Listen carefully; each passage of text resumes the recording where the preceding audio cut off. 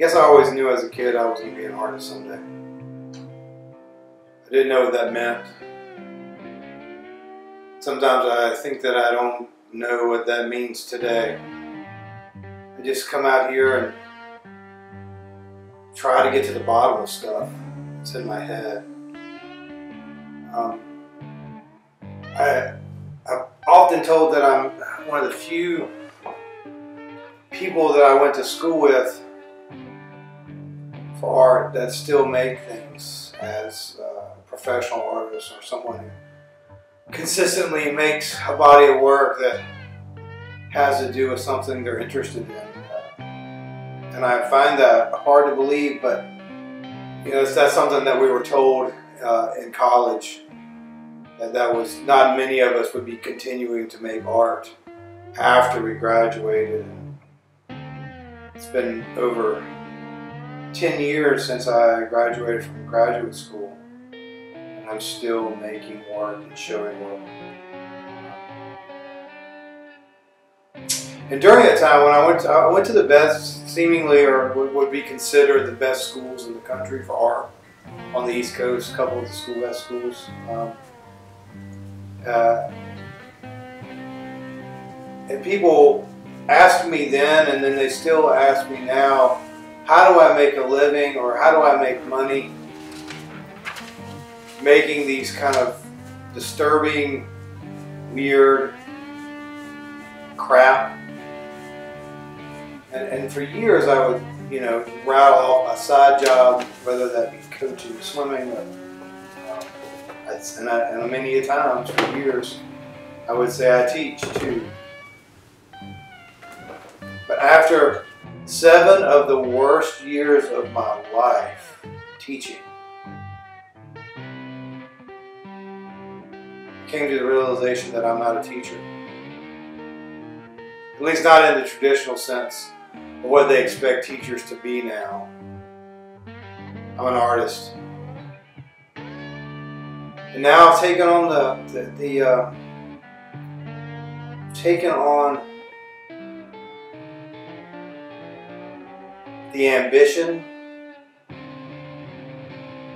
to make art full time and make a living at it. You know, when I first said that several months ago, I had no idea what that meant. I just knew that I couldn't teach anymore. It was killing me.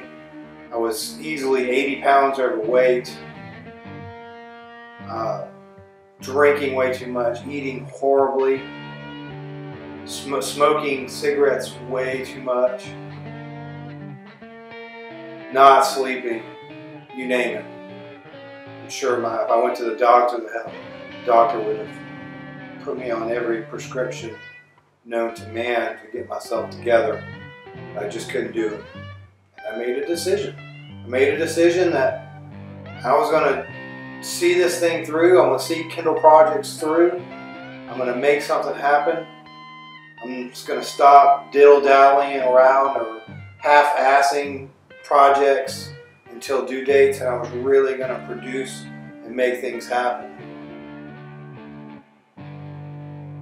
And for the first time ever, I'm going to make the art that I feel that needs to be made. No apologies and no regrets. Some of it may be made to make money, but most of it's going to be made to satisfy some this interest that I have in a, in a specific subject matter. and to all of you out there who are doubting me now, who have doubted me in the past, who shook their head at the idea of being an artist, who've called me names, talked behind my back.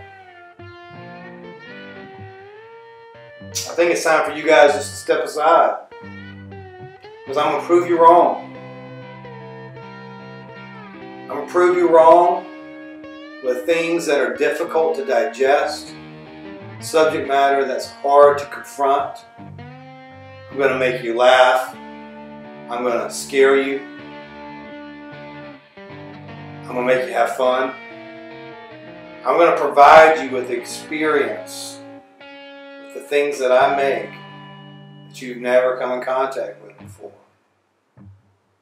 And if I don't approach it like that, and if I don't come at it with that kind of passion, that kind of um, ambition, I think I'm selling myself short.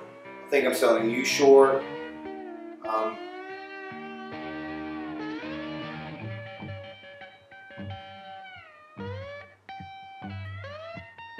and I don't think it would be worth it for me or you.